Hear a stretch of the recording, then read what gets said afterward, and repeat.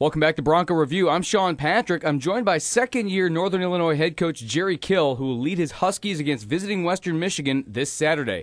Coach Kill is a hard hat, lunch pail kind of guy who began his head coaching career at Saginaw Valley State, where he compiled five straight winning seasons, the last two of which leading all of NCAA Division II in rushing. In 2001, Coach Kill signed on with Southern Illinois U, where his Salukis won three straight Gateway Conference championships. And in his first year with Northern Illinois, how about a bowl appearance? Done. And earlier this season, his Huskies put up 454 yards of offense as they took down Purdue of the Big Ten. Coach Kill, thanks for joining us today. You bet. Thank you. Let me start by asking at what point in your life did you know that you wanted to be a football coach? Well, I, I you know I don't know. I I was just hoping that I'd have the opportunity to go to college. I grew up in a town of 2,000 people, and I'm the first person out of my family to graduate. So I think I was just wanting to go to college and do something different. Now, if you hadn't gone into football, what do you think you'd be doing today? Well, you know, I don't, I don't know. Probably back working on a farm. Probably, you know, to be honest with you, or doing something of that nature. But I was fortunate enough to go to school, and I met uh, played for Dennis Franchione at a small school called Southwestern College in Winfield, Kansas, and he kind of got me into you know um, interested you know in the coaching, and uh, I've been there ever since. Was there a moment in your playing days maybe where you thought to yourself, you know, I think I want to be you know on the other side of this and and be on the sidelines there? Well, I, I certainly knew I I didn't have the athletic ability to do anything else, but I I I, I think as you know I played it, I really enjoyed sports and athletics and that was um, you know my avenue to get away from uh, even going into high school is get away from working all the time. So I I you know I, I I certainly enjoyed it, and I think probably about my sophomore junior year, you know I said you know I wouldn't mind being just a high school coach and, and teach and that kind of thing, and that's kind of when I went that direction and uh, and thought I'd be coaching high school the rest of my life, and things have just fell into place. Now you talked a bit about your uh, your family and your background there. How much do you think your rural background there sort of uh, uh, goes towards your work ethic, your drive today? Well, I think a lot of it has to do with my you know my father and, and of course my mother, but my dad was a a, a very uh, hardworking person. Uh, um, he worked two jobs to to support his family, and and uh, you know I just think I, I got the work ethic. Uh, uh, sometimes you, they say the apple doesn't fall too far from the tree, and and uh, you know I think I've got a lot of my father and mother in me. Now, how do you go beyond the game of football and try to instill that work ethic into your players to go you know beyond football, but to serve them well in life? Well, I, I think that you know I I think that they under I always tell them all the time that we're ordinary people trying to accomplish extraordinary things, and if you want to accomplish anything extraordinary, you got to work hard, and you can just go through a lot of people, whether it's in the sports world or just the common world, uh, the ones that are successful, the ones that put the time in and work, and the ones that aren't, they'll make it. And uh, you know, I just instill that into them and try to give them examples. You know, whether it's a sports figure or a business figure or whoever it may be.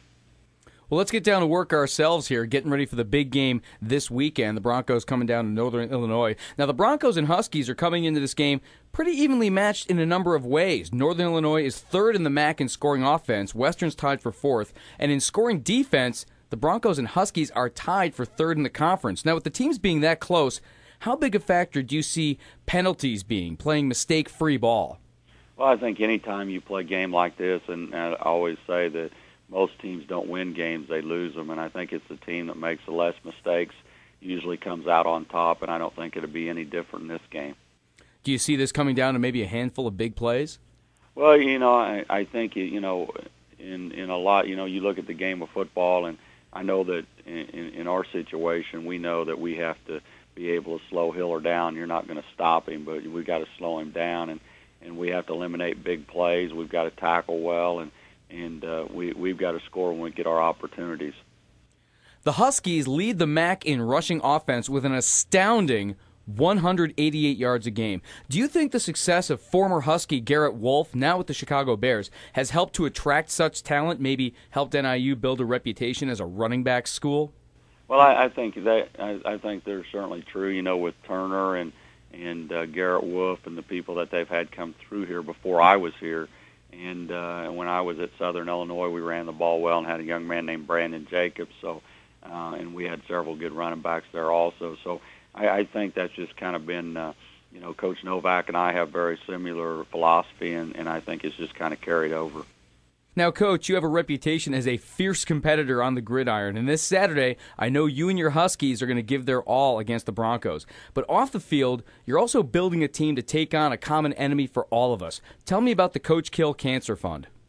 Well, it's it's a situation where um, my wife and I uh, came up with the idea of traveling back and forth to St. Louis when uh, I was diagnosed with cancer, and I just often wondered how people could afford to uh, and, and certainly in the southern Illinois region, thinking about it is how they could afford if they had cancer to drive back and forth and stay in a motel and do all those kind of things. And I thought, you know, I'm, I'm blessed to have the money to to be able to do it. I wonder what people that don't have the money do. So I kind of looked into it and and got with a, an organization there in, in southern Illinois, SIH, and visited with them, and and we just started a cancer fund to help the people that financially could not afford to be treated or didn't have insurance or or went through those kind of things in life and, and just tried to reach out and help and and we are very fortunate it just took off and it's uh it's been a, a really really uh, fun thing and and uh, I think we've been able to help out a lot of people and, and it's been very uh, um, you know uh, self uh,